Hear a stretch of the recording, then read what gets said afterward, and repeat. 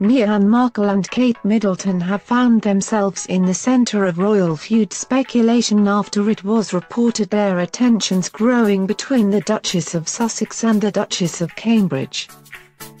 Prince Harry and Prince William's wives are believed to have a rift between them, a rumor which started when it was announced that pregnant Meghan and her husband will be moving from Kensington Palace to Frogmore House.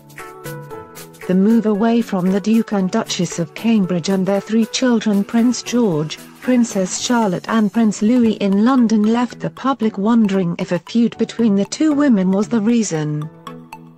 While speculation lingers, a royal expert reveals the pair had a strong sisterhood between them only months ago.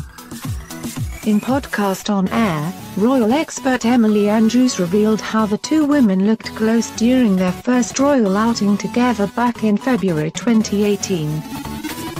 Joining their husbands, Meghan and Kate attended the Royal Foundation Forum, this being one of the Duchess of Sussex's first royal outings since her engagement. She added, It was sweet when they first came in, Kate looked at her as if to give support. The two women were sitting next to each other, the two men on the outside, I really felt like there was a sisterhood between them. Emily went on to note, they all felt comfortable because everyone had each other's backs. This resurfaced royal bombshell comes amid rumors an emotional strain is running between Kate and her sister-in-law.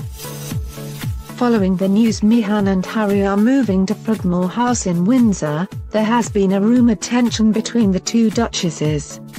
Only months after the royal wedding.